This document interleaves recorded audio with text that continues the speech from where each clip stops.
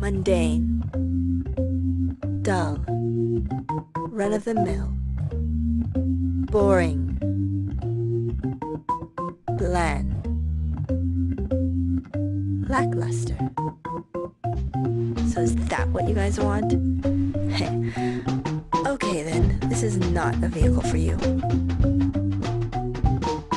Now sliding in under the radar is a 150 miles per hour electric sport bike. A bike for only a few of you. So who decided to build such a revolutionary motorcycle for the few? Who else than the visionary engineers at Mission Motors in San Francisco?